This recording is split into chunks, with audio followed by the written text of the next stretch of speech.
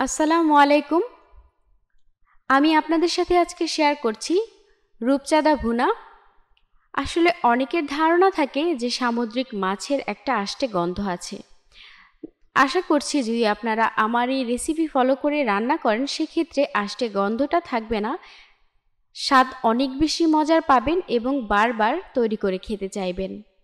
আমি সাধারণত বাসায় এরকম অল্প মশলায় এই ভাজাটা করে থাকি। খেতে কিন্তু খুবই মজার এবং তৈরি করা খুবই সহজ। আমি আপনাদের সাথে শেয়ার করছি, চলুন আর কথা বাড়াবো না। আমি এখানে ফ্রেশ রূপচাঁদা মাছ নিয়েছি আর আমি একটু ছোট সাইজের নিয়েছি। এটা ছোট, বড় বলে কথা না সেমভাবেই কেটে নিতে হবে। আর কীভাবে কেটেছি আমি একটু চিড়েও নিয়েছি যাতে মশলাটা ভালোভাবে ভেতরে ঢুকে। সাধারণত রূপচাঁদা ফ্রাই এভাবে করেই কেটে করা হয়। তো আমি এখানে চার পিস রূপচাঁদা নিয়েছি মানে চারটা রূপচাঁদা মাছ নিয়েছি।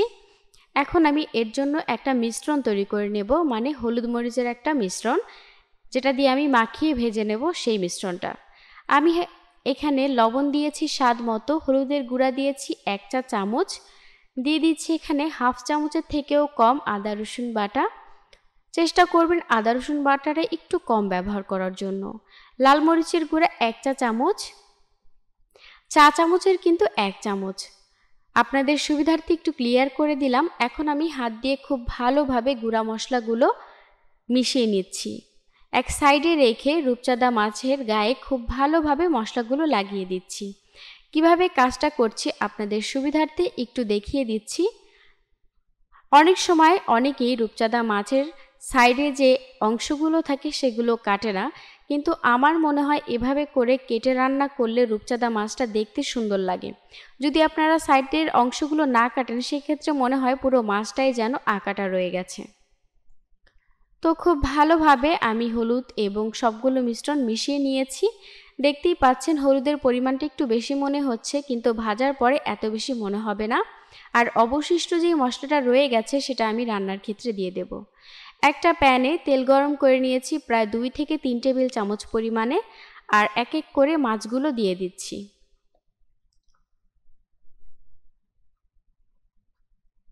সবগুলো মাছ দেওয়া হয়ে গেলে উল্টে পাল্টে ভেজে নিচ্ছি। মাছটা কিন্তু অনেক বেশি কড়া করে ভাজতে যাবেন না, জাস্ট হালকা একটু সফট থাকলে চুলা থেকে নামিয়ে নিতে হবে। এ পর্যায়ে মাছগুলো ভাজা হয়ে গেছে, এটা কিন্তু অনেক বেশি ব্রাউন কালার হয়নি, জাস্ট ভাজা হয়েছে মানে সেদ্ধ হয়েছে। রূপচাঁদা মাছ সেদ্ধ করতে খুব বেশি সময় লাগে না।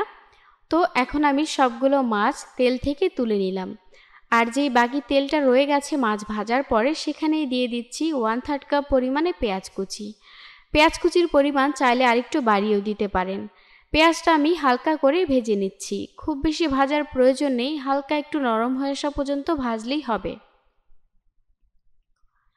তো এভাবে করে অনবরত নাড়াচাড়া করে পেঁয়াজটা হালকা রঙে আসা পর্যন্ত ভেজে নিয়েছি। মাছ মাখানোর সময় যে মশলাটা রয়ে গেছিল এক্সট্রা সেটা দিয়ে একটু পেঁয়াজটা নাড়াচাড়া করে দিলাম।